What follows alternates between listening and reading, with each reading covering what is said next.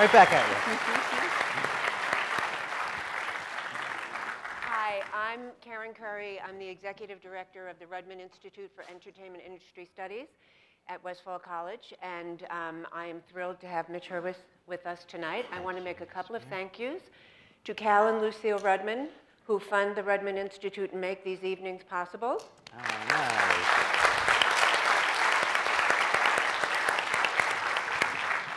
And to Sibby Merkel Brassler, who is also co-sponsoring tonight's um, event. So thank you so much. It took two sponsors. Two sponsors. Two sponsors to get me here. And our dean, Allen Sabinson, is with us. Just I'd like to Just met. recognize Nice to Alan. you. Before we get into the conversation, which could go on for hours, this guy is so Or amazing. it might never start. Or it might never start. don't know. It could maybe never start. Anything could happen. Mitch Hurwitz, if you don't know, creator of Arrested Development, incredibly funny person. Started writing for Golden Girls, was a runner first on Golden Girls. Became a writer and producer, created and produced and wrote a couple of other, um, more than a couple, uh, sitcoms. And then Ron Howard came to him with the idea for Arrested Development. The casting is perfect. You wrote it with all those people in mind. Not the case. right? No, not at all. Um, I, I wrote it um, with none of this. I wrote with like family members in mind, and we, I couldn't get my brother-in-law for Gob. um, he was too offended by the portrayal, um, and uh, and every one of the. I, I actually kind of felt like when you at that point there was no guarantee that you'd get it from a pilot to a series. So I kind of felt like, well, this will be the thing that I'm doing for a couple of years. We'll be trying to cast this. I've got three weeks to cast this particular pilot. I know it'll push back because there's no way we're going to find anybody for it. And I was telling you on the walk over here that I was, uh, I saw Jason Bateman's name on the casting sheet the day he came in, and I remember thinking, I don't want Jason Bateman in this. I didn't even really know him. It was just kind of a prejudice of, you know, he's done all these sitcoms, and, and, then he came in, it was great. And every one of them just kind of fell into place. I mean, they're all different stories, but, uh, and then there's a thing that you do when you try to, the networks make you bring in the actors uh, to show them, to have them act out a scene. And that's really nerve wracking. Uh, and, we, and I remember the um, person I really wanted for the mother was Jill Clayburgh, who I'd been friends with from doing another show. She was just wonderful. And she'd never auditioned before. And I sort of prevailed upon her and I said, You just come out. There's nothing to it. They love you at the network. You'll get this part. And I remember um, she did her audition, and then I turned around in my seat to look back at the head of the network, and he said, No. Okay, so we, and I just like burst into sweat. It was the craziest reaction. Uh, and he just started talking. I said, "Well, uh, uh, Wait a minute. Um, you know, Jill's a great actress. He said, Mitch, I said, No. I mean, this is how pilots fall apart. You don't have the, you don't have the mother, you don't have the brother. We didn't have Gob yet. No. And I was stunned, and I looked over to David Nevins, who was one of the executive producers on the show, for help. And all he did was he kind of went from my eyes up to my forehead to look at the sweat, and then back down to my eyes. And it was, it was, and then my phone started ringing. Jill, sell. Oh, it's awful. Oh, my but the God. casting director said, "Well, I've got Jessica Walter is willing to go on tape," and I really didn't know her work. And she also knew about Will Arnett, who I did not know either. She said, and Will Arnett is willing to read for this. And I said, oh, Will's the best. I mean, we got to get Will. uh, and then Will came in a week later, and I was so delighted at how good he was that I did another incredible, like, rookie mistake.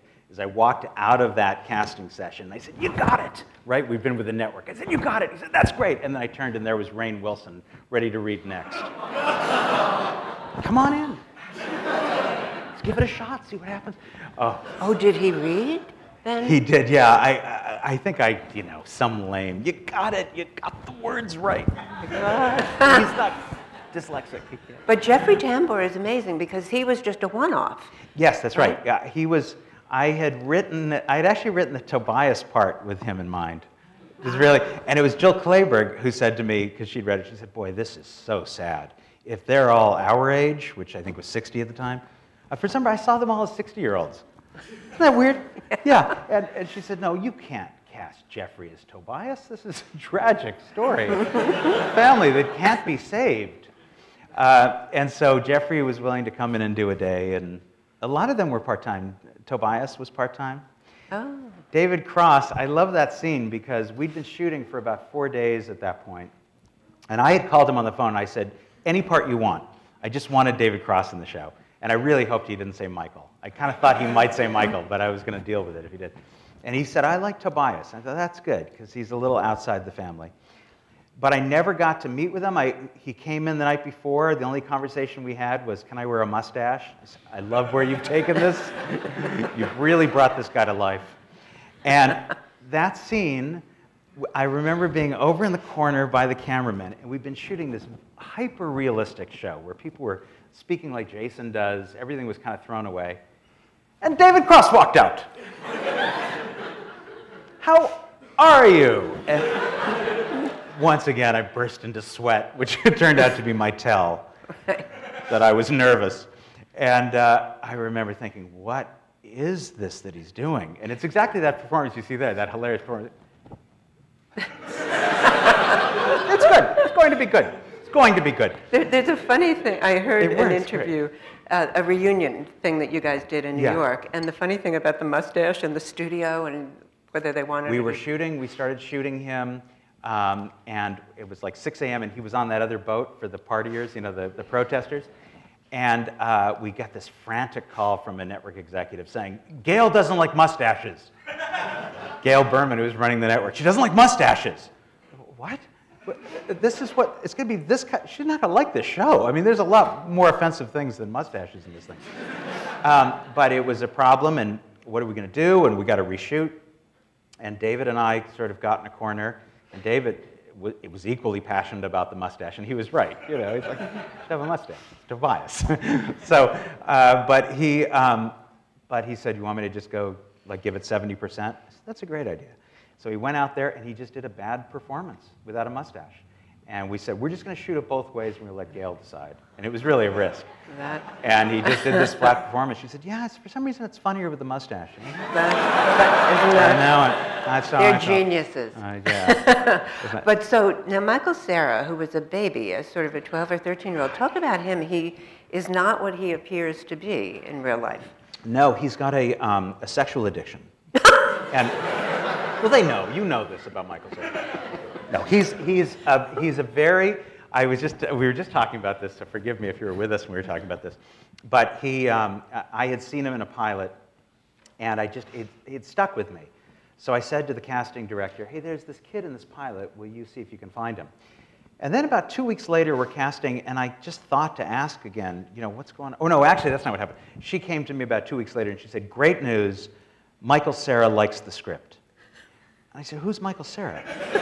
and she said, That's the kid in the, in the, that you liked in that pilot. I said, We've been waiting for him to like the script. He's 12. like, this is a step that this, but that's Michael Cera. That's confident little Michael Cera. Like, he wasn't going to just do anything.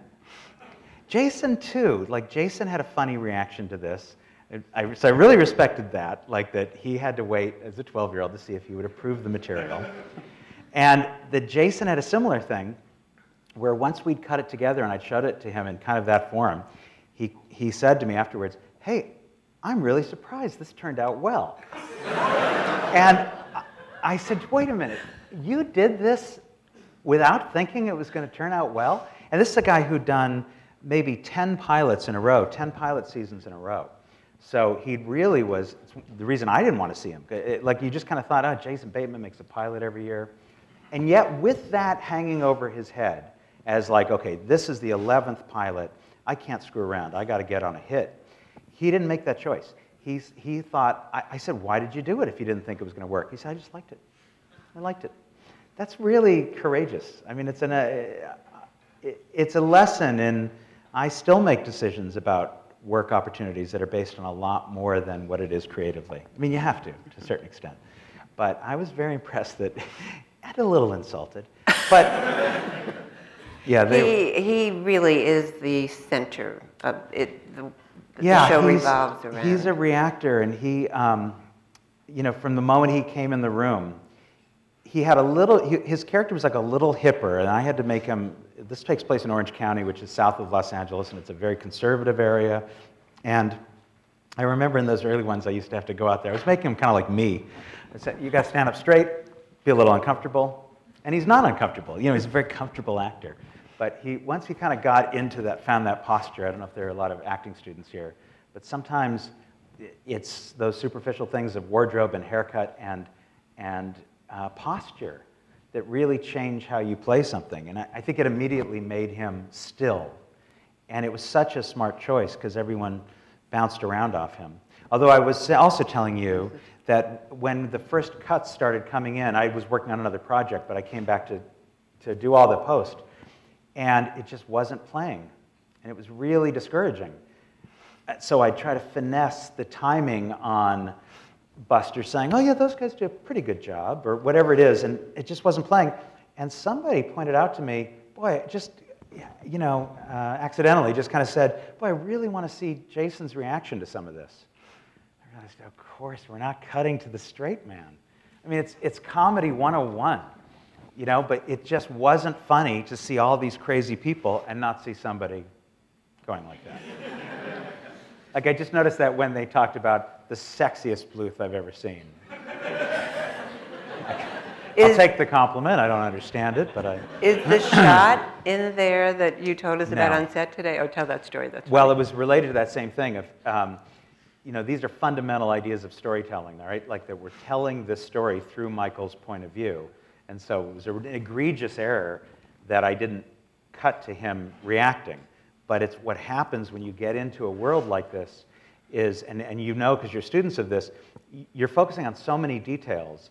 And the real challenge is keeping that macro picture, that storytelling thing. I was on the set of your thing today, and um, there was a great line in the script that had just slowly changed. And I got to be the one that pointed out, hey, the line in the script is funnier. And everybody kind of was like, yeah, right, we lo- you lose sight of it. You just, there's too many things to watch. So I was pretty good about knowing I was telling Michael's story and how that was going to work. And then when, I, when it came time to cutting it together, um, we realized we don't have a single shot of Michael in a sequence that's about to happen where the SEC descends on this family. So Lucille's been made the president. We come back around to the scene. The SEC is coming. He's been involved in shady accounting practices all the little B stories are paying off. Buster, who doesn't know anything about cartography, is trying to get them out. George Michael is going to now kiss his, uh, has just kissed his cousin, but he thinks the sirens are for him. There, every story was paying off. Mm-hmm. And we didn't have a single shot of Jason. And it's the climax of the whole first episode. I didn't have a shot of Jason. And I had to buy one from the Entertainment Weekly, or the Entertainment Tonight reporter who was shooting on the set. And it was just a shot of Jason just looking out the window. Wondering when lunch is or something. But, you know, Ron is saying, and as Michael contemplated his future, you know, You know what? Um, I also heard that there was this letter that came to the cast with the first script, sort of the No Diva yeah. letter. Talk about that. That's great. Well, they, they were very um, cowed by the idea of how much production was in this show. And we were one of the first shows that used HD video cameras. And that was the initial con- conceit of it.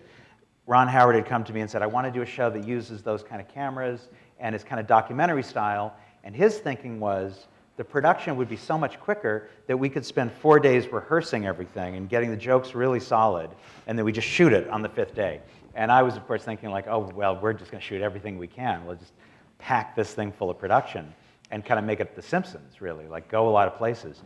Um, so uh, that's the long way of saying that. Oh, oh the letter. Yeah. So so uh, we I remember we had this production meeting, and they said, "How are you going to do this? How are you going to have boat chases and this kind of thing?" And you, have got one of the characters going to a birthday party, and I, the director, Joe Russo, Joe and Anthony, who've now gone on to do a lot of great stuff, said, uh, "Well, we're just going to go around. We'll just go grab a birthday party." And I remember the producer saying, "You can't just grab a birthday party. You're not. Gonna, you can't just stumble into someone's house."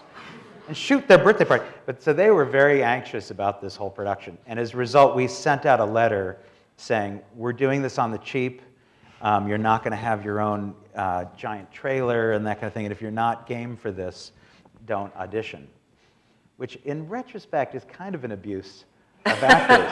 you know, like I, I don't know that I would do it today. Really? I think I might say to them, I'd like to be more ambitious than our budget allows us for. You know, would you play with us? But I don't think I would be part of the chipping away Mm-hmm. of, you know, it's, I mean, because they could say, well, did you take less money to do it? Right, You know, right. Well, did, no. Yeah, I did, of course I did. yeah. So um, one of the things, again, about Michael Cera, there's a very funny story about a scene where they're all piling into a car. Yes. I think we can tell that. It's a little dirty, but not. I think we're grown Hmm. Well, up. spoiler alert, this has the word erection in it. I think we're good. we but medical worse, school. I had to say it to a 13-year-old, and that's really where you get into a gray area. Uh, and it just it's just such an insight into him, because he plays such a self-conscious guy, and he did that so effortlessly. And he's not that way at all. He certainly wasn't as a 13-year-old. Um, and we did that scene a couple of times. They, everybody get in the car, and, and we were just showing this little piece to say how uncomfortable he was, you know, going through his sexual awakening with his cousin there. And so the, they're in the back seat, and it's like, boy, there's not. Um, David Cross says, boy, we're ass to ankles back here. As if that's an expression. And just little hints of where you. um, and so it was like, George Michael, will you jump onto, or no, uh, maybe will you jump onto your cousin's lap? And then the camera was going to zoom in on him. But every time it zoomed in on him, he was just fine, you know, smiling. And so I had to say to him, like, okay, um, so there's a joke here that I kind of feel like we, how do I? So when his cousin's on his, uh, his lap, there's a, uh, like an, an arousal. There's an arousal that takes, that's very good. Of course. Oh, thank you very much. Excellent. Thank you. I'll do it. So wild. I'm red-faced and, you know, Amazing. got it. Now, the other. Would you like to see the erection? No, no, no. That won't be necessary. But thank you for being so great about The, the use of Ron Howard as the narrator is, Yeah. is brilliant. How did that? That was a. Um, What was his rate? There were two big manipulations I did in, in the making of this pilot because so much of what you're trying to do is sell this thing too. And a lot of pilots are made, but it's tough to get something on the air. And the two ideas that I had to that end one was I knew that when they tested these things, one of the questions they asked was, Would you like to see another one? So that's why I put in the on the next Arrested Development, which was just a bogus. I mean, it's a pilot. How could there be a next Arrested Development, right? on the next one, he gets to see her in the shower. I mean, I think that was literally one of them. That, and George Senior loves prison, so that was really good. Like our numbers were off the chart. People did not like it. Eh, confusing. Couldn't follow it. Would you like to see another one? Oh, definitely. She's in the shower, right? And he. And the other thing was that they were starstruck about Ron Howard at Fox. And I'd, I'd been in an experience before. I mean, you kind of need a heavy hitter. You need the gorilla, right? And um, I didn't have one on that cast. I'd done Ellen DeGeneres' show, and I was kind of determined, like, I don't want to do this again, where somebody's calling all the shots. And, uh, but, so I kind of got Ron as that, that, what is the phrase? 10,000? An ape can't be 10,000 pounds? What is the? 8,000 pounds? They're 8,000 pounds. well, I think there's some competitive, right, okay.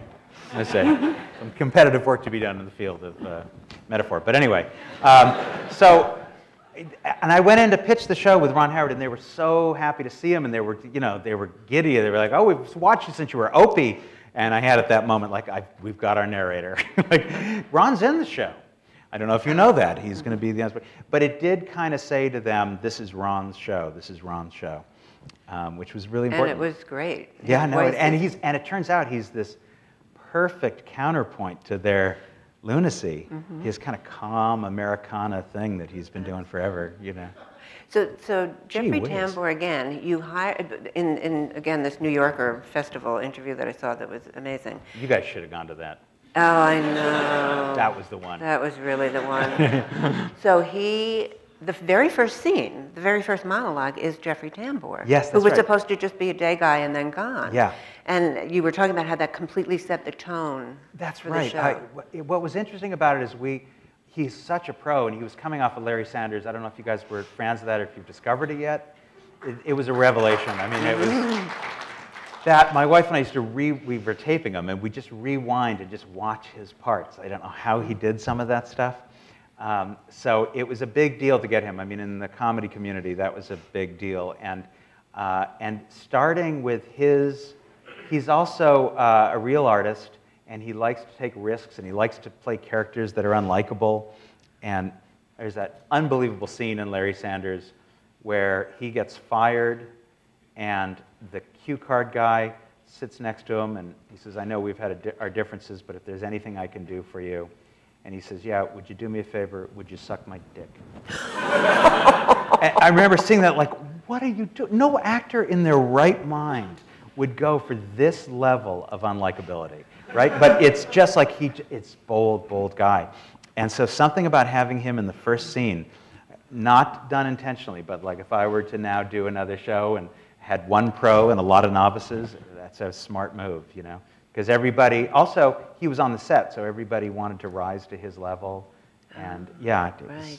And, but they all play it, it's a, they're all playing it straight. They are all, their characters are they're, all, they're playing, um, you know, they're making a very advanced, like everybody got hip to this idea of don't be funny. You know, it's a very subtle thing, but you'll see a lot of dra- drama actors will come over and they'll, oh, I love doing comedy, and they make everything a little over the top. And if anything, I mean, you can't say blanket statements about comedy, but often um, it has to be taken much more seriously by the characters than drama. You know, I mean, that's really what all that stuff is about. You know, even David Cross saying, I didn't pack for that. Worried, thinking about it, not trying to get a laugh, you know, thinking about what he's going to wear. It's, and it, it became like I sometimes I think there are two styles of comedy that I like to play, and one is really big stakes that aren't taken seriously, and the other is really small stakes that are taken incredibly seriously. oh, mother lent you my sweater, did she? Well, mother's in for a big surprise. It's like, there's something about that. Just- the show was, was meant to be documentary style, and I think there was the anticipation there might be a lot of improvisation, and these actors could all pull that off. But as it happened, Not really, because I, the ambition of the show quickly became about the storytelling. Um, and I had, you know, the, the older I get, the more I, I realize how everything is story. And that on those occasions when I'm just trying to be funny or we're just trying to squeeze an idea in, it just doesn't work if you're not on story. And, and for whatever reason, I started thinking every character should have a storyline in each episode, and that became kind of the hallmark of it. Um, and as a result, there just was no, the shows were 20 minutes long, 20 minutes and 45 seconds long. Wow. So there really was, I, I got rid of so much fat. And occasionally, you know, there would be great um, ad libs and things like that, but typically I would have to, if they weren't like part of the scene, I couldn't use them because I couldn't even let a phone ring twice. I mean, I would get, I remember the first episode after the pilot, um, they, is the one where they burned down the banana stand, if you know the show. And, they, and um, I remember the, the directors came up to me afterwards and said, okay, so we saw the first cut, it's 35 minutes. 35 minutes, so the show's supposed to be 20 minutes, and it's, I just have to cut 15 minutes, right? And they said, so, I mean, I think the fire stuff is gone. I think you lose Lindsay and Tobias, they're fly, flown from this episode. You lose this, you lose that. Um, I wouldn't lose, you know, I wouldn't keep any of the Gob stuff, maybe have them in for passing. And I was very nervous about this because it, the script had finally worked and everything came together. And I remember going in and watching the screening, and they're such visual directors that, you know, the scene's going along fine, and then Michael's riding his bike and he hears sirens, and then there's a shot of his face, then there's a shot of a, a fire engine, and then a shot of him riding, and then an up angle. He rides back, and then we follow him on a bike, and then two fire engines pass, and then cut back to him stopping, and he crosses the street. I mean, it was like, you guys have a seven minute sequence of Michael chasing a fire engine. And, but it, it helped kind of understand that, right, that's not what this show's going to be. It's not going to be, there's no, nobody's going to knock on a door. It's going to start, you know, and, and Ron Howard's going to paste all that stuff together. Um, yeah. And how did doing that uh, for the actors, because talk, you, you talked a bit on the set today about the camera work and how it was more documentary reality style and the impact that had on the acting. Yeah, it's all. Um, the other thing I, I'm always aware of um, when I'm on sets is how much what you're really doing is you, it's just a manipulation. I mean, it's so obvious, but you're really just trying to manipulate and get back to the idea that you had, that little glimmer of an idea, and try to remember, you know, what it was about that that was funny. And it's almost like all the things in life are trying to sabotage that original idea. At first, I mean, you know, once you, if you're trying to create a vision, and I would look at cuts and I would think, why is this not funny? This, this was the funniest line. And what we were talking about today was sometimes early on, the cameramen would anticipate that someone was going to speak. So they would go, so mother would say something, and then we'd go over and we'd wait for Jason's line. And it was just such a subtle thing that it said, joke coming, that it didn't work. And, you, and also, you bought that, well, this is obviously planned. I mean, it's a really subtle little subconscious thing. But when that camera lagged just a little bit and got there after he was talking, you just felt caught off guard by it. Mm-hmm. Yeah, there's millions of those little subconscious things. It happens all the time. I'm doing, I'm recutting the fourth season right now and making them into like 20 episodes that actually go in order um, as opposed to simultaneous episodes, if that makes sense. So I'm telling a whole different story. And I'll, but as a result, I'm looking at all the scenes again, and I'm seeing some real big mistakes. Just, I mean, just things like this, is, this scene is about Buster feeling inadequate, and we never cut back to Buster. Just weird little things like that because you get caught up in whatever that moment is. I mean, you know, because you've been working on sets, I imagine, a lot of you. Yeah. But let's talk about the transition from, so, th- see, first of all, first season, critical accolades, Emmys, everything's great. It's shocking. And then season well, three, and what became well, it became really clear that it, that Rupert Murdoch wasn't a Rupert Murdoch show. Like he ran Fox, he was the head, he still is, and and it, I think he always liked the show, but he kind of thought it's it's an HBO show, it's not our show. I, by the way, always liked the fact that it was on Fox, Mm. even though it wasn't the perfect fit. But I kind of thought, yeah, let's do this for free for people because there were great shows, Larry Sanders on HBO, but nobody got to see him. So, um, but it, it kind of, you know, the, the mechanics of the studio system, like I say this in complete fairness to them, the, it's a crazy model where if this show costs two million an episode, right? And so the way it would work, and forgive me if this is just if you know all this already, but I discovered it through the, you know, this experience, is the network will pay one million of that, and that'll be the license fee, and then the deficit is something the studio pays. Uh, so the studio is basically a bank, and the studio is betting on the fact that if they make 100 of these, in other words, they spend $100 million, they'll be able to sell it for 300 million. The network gets their money back right away with advertising, but the studio doesn't. So, in fairness to the people at Fox, and it's a little more complicated because Rupert Murdoch oversees both the studio, or the bank part of the thing, and the network.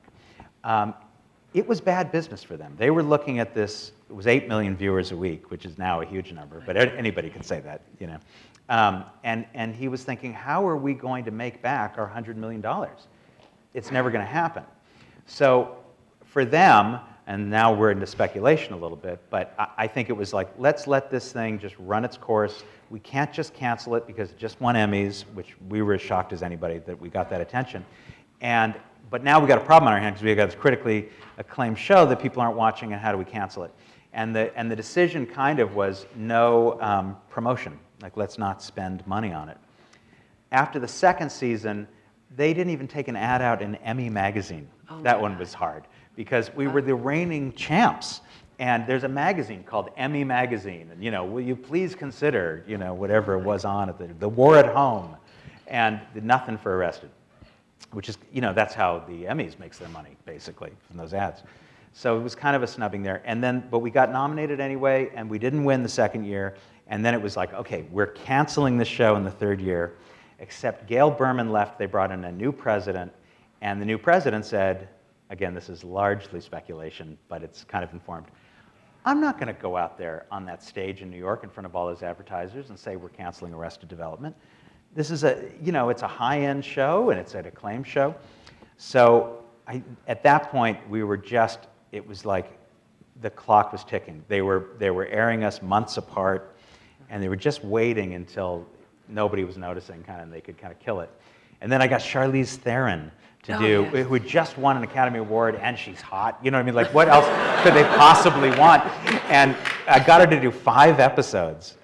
And um, they didn't promote her once. There wasn't they and they they showed one of her episodes and then four of them against the Olympics, and that was the end of it basically. God. The one funny part of it was when he called me, when the guy called me to cancel the show, he said, he said, listen, it's not going to work. We got to end this thing. And I said, I understand. I was, you know, take the high road. Um, and he said, and you know, next week we're starting the Pamela Anderson show. So I said, I get it. I get it. It's going to be huge. It was called Stacked. I mean, how could that not work? it takes place in a bookstore. Get it? Sort of past tense of stacks. Well, don't worry about that. She's stacked, and and it, they did horribly. It Now, they, they never you- did as well in that spot again. In that spot? Yeah. Now, if there had been Facebook, YouTube, Twitter, and all of that, my sense is that the show would have had a life. I don't know. I mean, I think it, it eventually did. Um, it was, it fundamentally, I fundamentally made a choice to do a show that required the audience's attention. It just, those are the shows I liked. As I said, I would rewind to see the subtleties in Jeffrey Tambor's performances. I loved The Sopranos. I, I just think television does those two things really well. Shows that you can't wait to watch, and shows that are just on, that are fine, that are, you're happy to have on. No, I just mean the fan, the fan Well, pressure. so I think that so I think it didn't get a lot of viewers because it felt dense and but then once maybe you're right, but once it was like on iTunes and things like that and DVD, once it was on a medium where you had to choose to watch it. And that's the revolution, really. Mm-hmm. It's just you're giving something your attention. You can't read a book out of the corner of your eye, mm-hmm. right? So, so once you, you, people who are actually actively seeking this entertainment, it does very well because it rewards paying attention. But on broadcast, maybe it never would have done better. Mm-hmm. I don't know. Interesting. I mean, I watch a lot of shows on broadcast that I don't pay much attention to, uh-huh. and I like that. So, Uh-huh. You know, it's all different. I could talk to you for th- five more hours, but I want the um, folks out there to have a chance to ask questions. We have two people with microphones, so But you can also if just yell it any out. of you have questions, um, one of the mic holders will get to you. think- And I think we've got someone Uh, over uh, here. uh, maybe you. yeah, I know you don't. That's the word on you. Um, so I'm just kind of curious. Um, you know, one of the great things about the show is that it really works well, like on a Netflix, where you can go back and you can watch and the repeated viewing. Um, particularly in the second season, there's the joke with Buster losing his hand, and I'm just, you know, that's one of the great things about this show as a comedy. You can go back and you catch those jokes that you might have missed that they're alluded to. So tell me kind of a little bit about that writing process. Like, how much planning did you have in terms of, you know, um, putting those things, or even um, Tobias's handprints going around? I mean, you're you're you're you're foreshadowing, uh, you know, throughout Yeah. the whole season. It was, it's an interesting thing. I mean, I was noticing it in this pilot. Like, wow, I was doing this then. Like the joke that it can't even be a joke because you don't know what she's talking about when she says, I have that exact same blouse. Like, I, I, kind of thought that was something I came to later, but I guess not. But um, I think I just, so much of it was a reaction to um, the kind of comedies that I'd been working on where, and the notes. I mean, forever. You know, anytime something was legitimately funny, the writer's room really would just bust up or we just couldn't wait for it. That was always the stuff noted because it was unexpected, it was different, and it just didn't fit the mold of what they're seeing in other shows. Um, and this was one of those things that I just wanted to do. I just thought, I just want there to be things that will pay off later. I, it was an audacious thought because we weren't even guaranteed that we get reruns or be on DVD. Um, but there were certain little things that kicked me off on that road. One was that um, I'd seen uh, Capturing the Friedmans, which is a great documentary. And one of the conceits of that was the father was being, um, you know, kind of, um, what's, it, what's that? I said ramrodded, but that's going to be very inappropriate in a second, as you'll see. Um, but he was being accused of all sorts of, you know, like child mischief and pederasty and things like that. And he wasn't standing up for himself. He wasn't making a stand. And it turns out it was because he had this other thing he was guilty of and he didn't want to come out. So I loved that idea that we've got a father in prison. Maybe he doesn't want to come out of prison because there are worse crimes. So we spent, I mean, this was really capricious, but you know, you get like seven, eight weeks of pre-production time. I spent about five of those weeks just trying to figure out what the series was. And at the end of those five or six weeks, I remember thinking, okay, it's going to be about Jimmy Vallely's joke building homes for Saddam Hussein. that was his crime. He was building these lousy model homes in Iraq, and he doesn't want to. They'll kill me. They'll kill me, Michael. Kill me. And, um, and then it was like, great, we got episode 26. Now we just got to get 1 through 25. And, and it was, you know, I mean, it's, it's not done a lot because it's, it really, it's like, it takes a lot of energy and a lot of time. Um, with like Buster losing his hand, that was something where over the break I had written to the writers and I said, and this is a good trick to do bad examples sometimes. I said, um, while you're thinking of stories, try not to just think of somebody dates something, but really think of big, crazy ideas like Buster gets his hand bitten off by a seal. Um, bad example. And then I wrote them back afterwards and said, no, it's not a bad example. We're going to have, let's have him have him hand bitten off by a seal. And we just basically knew we had at episode 12 or something at some point. And then it was real, I felt like with that one, I kind of dropped the ball. Like I, I wanted to do more hand stuff. and Tony was very upset. Tony Hale was very upset when I was excited. I said, You're not going to believe we have for you this year.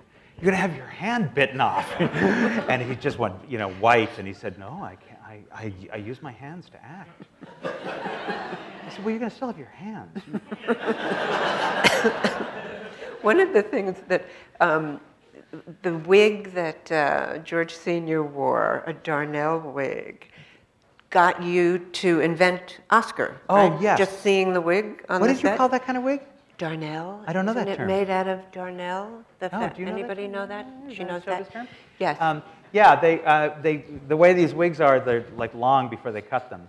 And so they put it on, we were trying to create the Oscar character, the twin brother. And so I remember going down into the, and I was really busy too. That was the part of the story we didn't tell. So busy. They want to show me the wig. Like, oh, come on. Because once you start being the person that needs to approve everything, everyone will let you. And it really is like, once I start saying, hey, can I see that prop? Can I see that outfit? Then everybody wants to show it to you because they, well, uh, Mitch is going to change it anyway. So it's a bad, you know, you do have to trust people. But I was at that point, and I remember going down into the, into the trailer, and they just had the long wig uncut on. I was, Perfect. That's him. That's Oscar. Jeffrey said, yeah, this is Oscar, because he's lazy too. Yeah. Question? Do Oh, you want to just yell it out? Oh, yeah, there we are. You got to Hi. yell into the mic. No. Uh, okay. Um, well, first, thank you for being here. Oh, thank and you. I, a while ago, there was some talk about you and Dan Harmon working together. I was wondering if that was still happening and when we might hear about that. We, I don't, we have not, we want to, and we have this idea that we kind of came up with together.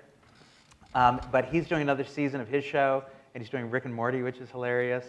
And, and it's great. And, it, and, and I'm doing this, I just started this little production company at Netflix, so I'm kind of creating some shows, but we're going to do it. I mean, we're, we, I have no doubt we're going to do it.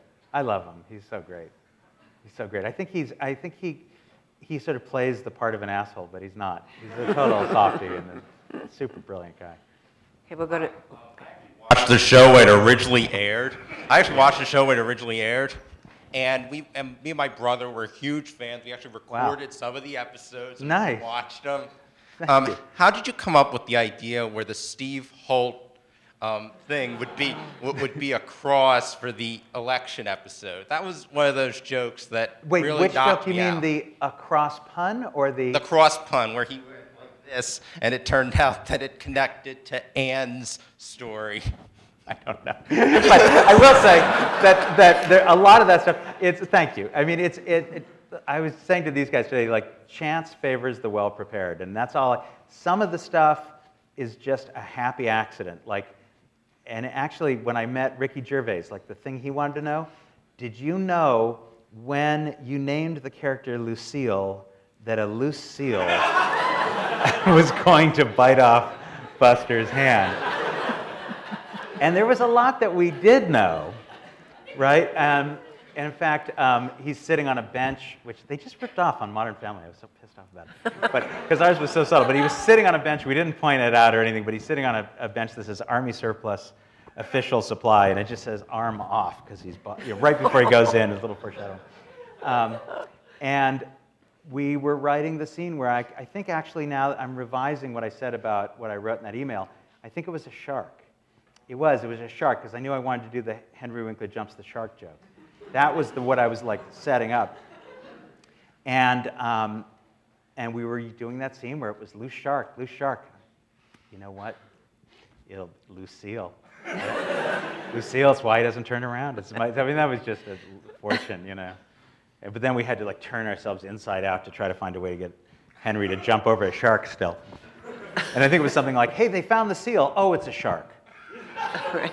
That particular joke was also had a layer of it. Ha- again, a coincidence, but it happened to be the episode where they made us promote Burger King. so we were jumping the shark. So we ended up having Henry Winkler jump over the shark and say, "I'm going to Burger King." Just too many meanings. Is there a question there? Do you have a favorite character or storyline um, you like the most? I kind of forget them. It's funny until I'm doing them. Um, I don't know. I don't think I do. I mean, I have moments that stick out to me. Like one that I just remembered recently was when we had the Larry Middleman, who was the, um, the surrogate of George Sr., because George Sr. was in prison. And we had a guy, Bob Einstein, who's Albert Brooks' brother, in case you don't know that. And he had, he's got a camera in his hat, he's got an earpiece, and so everything is slightly delayed, you know. Make it seem like I care. Don't say that. it's just this great device to never work, you know? That what Bob like the cone of silence and Get Smart. Like just a funny idea to have something that just never works. And, um, but the great thing about that was when he showed up to the set, he said, Now, I don't know if they told you about me, but I don't learn lines. You don't learn lines? He said, Yeah, in the past, what I've done is I've had somebody just say, I wear like an earpiece, and they say the line, like the script supervisor says the line into a microphone. I said, Well, you're in luck. you happen to be in luck. The character is wearing an earpiece, having things, but, but you really should let people know. There's one time you got away with it. Uh, I don't know. There are funny things. I mean, a lot of times I, I don't remember them. I don't remember them well because I remember all the anxiety and all the notes and all the, the times it didn't work. And um, there were things like that that I just saw. Like um, for the longest time, the Tobias getting dressed as a pirate wasn't working forever, and I sort of forgot. Like, no, that was funny. Oh, was yeah. funny. I remember in desperation, I, did, I used this bit in the edit because I was like, "Boy, didn't he do something funny as he was putting on?" Oh yes, he put it on his nipple. That is inexplicable from a character point of view, but I was desperate for a Somebody laugh. else have the mic? Oh, there we go. So I'm glad someone brought up Dan Harmon because when I first started watching Community, my some of my initial feelings were like this is like a just a baby child of Arrested Development. Oh. The characters are the same kind of nuances. It, like they kind of it's the same thing with the kind of like really dig into the sh- show to get to the meat of it. And it went through a lot of the same kind of struggles with networks, with actors, all those different things. The show's been canceled twice or something, Yeah. right? Has it been canceled twice? Well, once. Once, I know, but somebody Yeah. else said it was So- canceled but, twice recently. Yeah, like, did, were you there for Dan Harmon? Like, did, were you? No, able- I didn't know him till recently. I, um, I met him when I cast him in season four in a small part. I think he was so delighted that like somebody liked him. And he'd had a really hard year, and I said, "No, I loved that. I'm on your side on that one." I, you know, I, but he, we had very different personal styles. He did tell me, and I was extremely flattered by this, and I could say the same thing to other people. But what he got from Arrested Development was the sense of, "Oh, this guy is doing what he thinks is funny." Like he could tell that it just sounded different, good or bad, and he liked it. But the, the salient thing for him was, wow, for some reason this guy is going after. And I brought up Get Smart. I remember as a kid, like there were, when I was a kid, all these shows that were all the same. They were all kind of what a sitcom was. And then there was Get Smart, which had some guy's sense of humor, Mel Brooks and Buck Henry, as it turns out. But I didn't know that at the time. But like, well, why does this one have a voice? And really, it was because somebody had the audacity to say, I'm going to do what I think is funny and fight for that. I mean, you do have to fight. We had a very, he and I have a very different style of fighting. Um, and he's, he's um, fearless and confrontational. And I wouldn't say I'm the opposite, but I do, um, I don't do this on purpose because I really do try to have respect for the people who are giving notes. But I was once accused of a rope-a-dope was the style that I was accused of, which was a Muhammad Ali technique in the jungle, uh, the rumble in the jungle, where you just keep taking the punches. And that was kind of my thing. They'd give the note, and I'd say, let me give that some thought. And I meant it. I wasn't just, you know, I really would try to give it some thought. And I really would address it, but I wouldn't address it the way they wanted. So they'd say, we don't like this line. We think it makes Michael look mean. So I would kind of take this macro approach and say, well, I don't want Michael to be mean. So I would maybe up some other moment. I'd give him some other pause, or I'd give him some moment where we see he cares. But I'd leave the line, and that really pissed a lot of people off. So we had the same effect, mm-hmm. even though I wouldn't say, that's a stupid note, I'm not doing it. So with Netflix, are there notes? Well, no.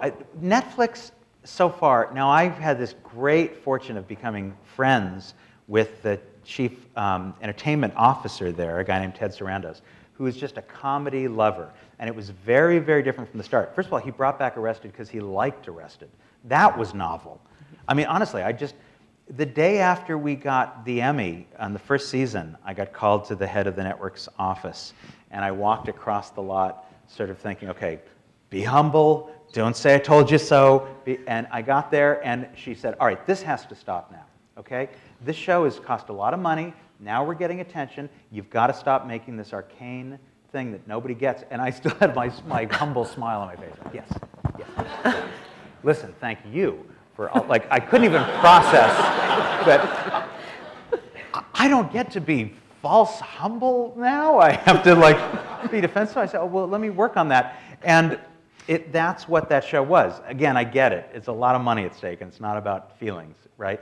But I think there was the perception that I was doing it to be an artiste.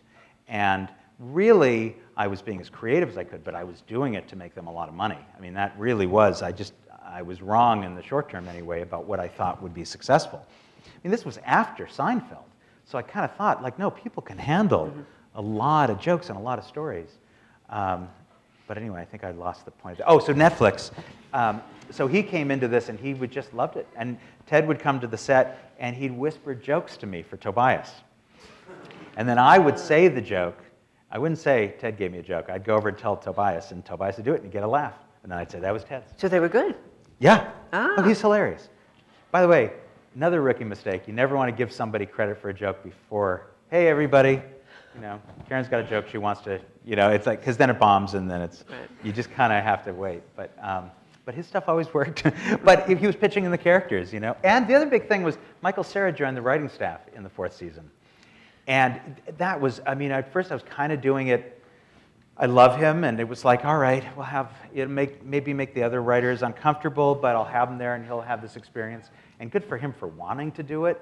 You know, he could go make a giant movie, and he's going to want to sit there for thousand dollars a week, which is low money for him. You know, and and pitch, and it's long hours. You sit there for 12 hours. It's very restive experience, and it very quickly got to the point where it's like, where's what do you mean we're shooting with Michael Cera today? We need him in the room. He was so funny. Oh.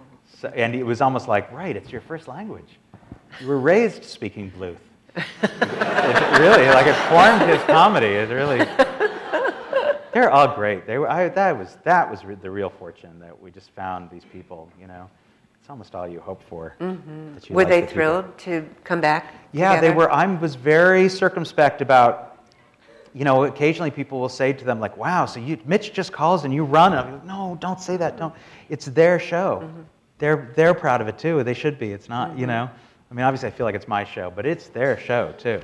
So I think that's been fortunate for us. And also, we died young. I mean, there's something that, Mm-hmm. know, nobody goes back and says, you know, wasn't a very good actor. James Dean. Go watch one of his movies again. not that good. You don't. You kind of like died young. He was the best. so we were we had the benefit of that. I love it.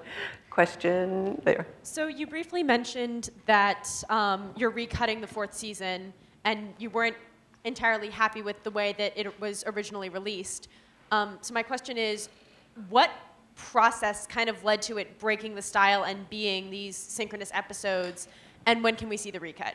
Okay. Well, um, so uh, just to correct one little thing, it wasn't that I wasn't happy with how it was released. Um, I just I'm never. Um, first, of all, I'm never that happy with my own work. It takes me. I think this is the first time I've not winced watching that pilot. You were enjoying it. I was enjoying it. Yeah. And I probably, I probably haven't seen it in six years. And I, so I no longer just, I'm kicking myself for uh, all the little things, you know. Um, and there's a lot of them, you know, and, and of course nobody else would notice, you know, just like nobody else notices what you don't like about your hair on a certain day, you know, just you, it looks like the same person to me. But, you know, you're just so close to it. Um, with the, the process for season four was really interesting because I had been trying to make a movie of this show for a long time. When I finally sat down to write the movie, I realized, wow, one of the compelling narratives now, if you care about the show enough to see the movie, is where they've been. I mean, it's, it's impossible to tell a, a story about people that are growing up and you skip six years and not say, here's where he went to college, here's what happened to Gob the magician. So I started outlining where they've been, and I quickly realized if I give three minutes per character to this, I'm halfway through the movie, and nobody's had a conversation yet. So I, I came up with an idea that was, um, it was kind of just exploitative. It was, let me just do these little webisodes, um, and I'll make a little money, and I'll just do like one character each, and it'll just be for fans. And if you see the movie and you didn't see it, it won't matter. And if you've seen it, you just have this instant. So I pitched it to Netflix, and they loved it. And then we started doing promotion about it, and then it was like Arrested Development is coming back. And I suddenly realized, oh, I have a problem. Because the only reason I had pitched this as webisodes is because I knew I couldn't get the actors. I, I kind of figured I can get every actor for one week, which is the duration of an episode. But there's no way I can get Jason Bateman for three months, right? And um, so, so I, it was, I started going down this road of, all right, maybe there's a way to have them together, embrace the fact that this story, uh, th this family is so much in each other's web, and they're, they're so enmeshed that even when they're apart, there, there's connectivity, that there's a cause and effect in everything they do, that they're their own worst enemies.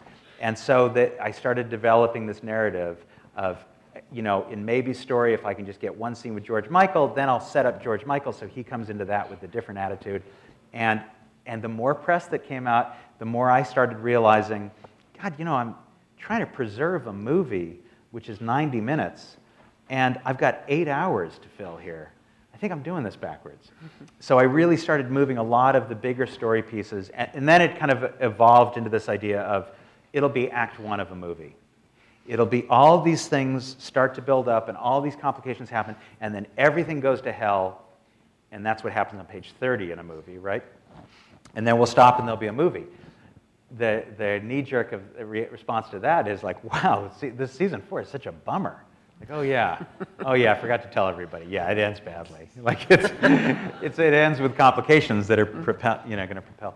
So, but what has been really fun is those were so we did 15 episodes all told, and now I'm turning them into 22 episodes because some of the episodes are 37 minutes, and it's working great. I mean, it's really interesting. It's allowing me to tell the story completely differently find all these themes that were always in there but were hidden, which is like the baptism at sea affects these three people with these three different religious epiphanies, and that'll be one episode. And I know it's been very cool so far, but we, it took a long time.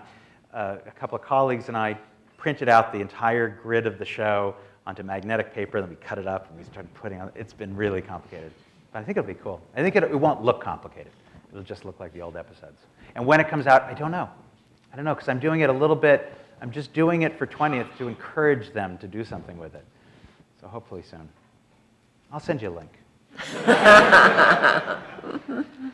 Hi. Over here. Uh, I was wondering if you could talk a little bit about the writing process for a comedy that's as tight as Arrested Development, where like every joke matters. And I think I've listened to a lot of your interviews, and like every time Arrested Development comes up, you talk about Jim Vallely yeah. And how, you know, you've had a long time collaboration with him. So just, you know, talk about that. Yeah, I, so I, I say when I was like probably your age and um, was graduating and I, I went through this period of intense nausea, thinking, you know, I, I don't want to put, uh, put any ideas in your heads. But it was, what am I going to do with my career? What am I going to do? And I don't know. And I tried spending some time alone writing, and that was miserable. What am I going to do? And I, I think it kind of guided me toward television because it's social and even though I still sometimes prefer writing alone, I learned how to write with others, and that was a really important thing. By the way, I got over that nausea when I said to my father, I finally confessed to my father, I said, you know, I'm nervous all the time. I just I feel like I'm, I don't even want to say this because I don't want to make it real, but I'm just so anxious. I just feel like I could be sick at any moment. And he said, oh, that'll never go away. I said, what? He said, I could vomit right now. And it was so funny to me. I said, really? He said, oh, God, yeah. Said, you just, you know, a career is an anxiety producing thing. okay, fine, all right. And then it went away. It was like, you always How have to like family- put the light on something, you know? Anything you're ashamed of, it's like, you got to bring it out of the light. But, um, so, so eventually I started working in rooms, and it took me a long time, writer's rooms, once I got on shows, which was not an easy, easy thing to do. But then I went through an intense period of self consciousness where I would be aware I, I've just gone through the entire act and I haven't pitched anything. Uh, he got in a great joke, and I was going to go down that road, and it's self consciousness.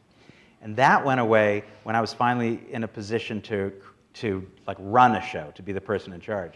And suddenly it wasn't about my ego, it was about like, just we got to get this thing done. And I was pitching like crazy. So it, it was like a lesson in getting out of your own way, kind of.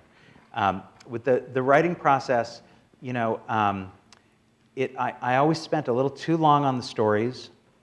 Um, it would be very vexing to the writers, and I, I would say, well, wait, so we've got all these, okay, let's write it. Can we write it now? And I'd say, yeah, but I just wish there was some way. We've got Lucille not driving, and we've got Tobias has learned how to drive. There's got to be a way we can, you know, like, oh, one more thing to tie together. Part of that was writing avoidance, I think. Your style is made of what you can't do sometimes, or what you think you can't do. So I would be nervous to sit down and start writing the dialogue, so I would just do one more pass at that outline. That happened to be my sickness. But then the writing itself, I would do very quickly over a period of about three days with writers in the room, maybe three or four writers. Jim Vallely was always one of them. He's a really brilliant guy. And we know each other well. It's like a basketball team or something. And, and I would type, and it would be up on the screen. And people would yell things out, or I would say, Is there a funnier name for the restaurant? Or, wait a minute, why is she even going to this party? You know, and we'd stop and we'd. But I kind of kept control of it that way, so it would all go through my brain to a certain extent. And also, I would learn how to listen while thinking. That takes a little while because you just want to say, shut up, shut up, shut up. I'm just thinking. It's a weird thing, you know, to write with other people around. Um, and then we would write these incredibly bloated scripts. Scripts are supposed to be like 30 pages, would be long for Arrested. And the first drafts would be 55 pages. And everybody would be so tired that I wasn't hurting their feelings to cut their favorite stuff. That was kind of the trick. It'd be one in the morning. I'd say, let's lose this learning how to walk thing. It's not funny. Let's just cut the whole thing. It's a day of shooting. Forget it. Take that out. And just really like hyper focus from one to three in the morning and just tighten up those scripts. And then be looking at the blank page for next week and being just as daunted. Because that one worked. It all worked. But I think it's sometimes it's, um, it's just applying yourself. It's, it's grit. It's just perspiration. It's all those things. It's, it's blasting through your fear of finding out you're not talented. Because that's still there. Like, you know, I was talking to somebody at a pilot the other day, and they said, "Why don't you write it?" I thought, "Oh no, no, I, I, don't- I, I, I don't know." You know, just, I mean, what if I, what if I, what if it's not funny? You know, and and of course, you, you know, it's like that has no place in the creative process. I mean, it's there. You have to acknowledge it, but you also have to say, it's, you know, I was just saying to these guys today, like the antidote to me to that self consciousness sometimes is curiosity. So instead of seizing up and saying, well, wait, I don't know how to write something in the Old West, to kind of say, well, well, what is, yeah, what is my take on that? What would my, what's, what am I curious about? It'd Be interesting to see what I did with that, you know? Be interesting to see what you did with that. We know what Seth did with it. I didn't see it. Didn't see it. Question. Wait, is there somebody from over here who has? No. Okay, we'll go with you over there. Yeah. Are you are you mostly um, in? The, uh, anybody here want to be an actor? Are there actors in the room? Actors and are uh, writers or people like that are interested in writing, and then like production people or producing. Yeah, so it's pretty, and then probably just people just checking it out. But um, I was trying to get a sense of who's who wants what. You know.